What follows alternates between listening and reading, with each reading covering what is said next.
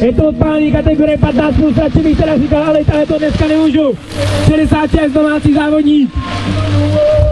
Je mi to jasný, Matěj Chalupný, já nejsem to moc sbíral, pak je tam Michal Šuran, domácí závodník, Petr Soubus, tady to měřický závodník, pak tam je veliký balík, vidím tam 88 Filipa Fildera, vidím tam s pětkou závodníka,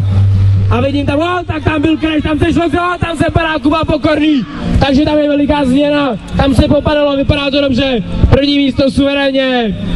domácí závodník 66 Matěj Chlupný, BMX Bílina, druhé místo domácí závodník Michal Šurán, třetí místo Litoměřice Petr Soubus.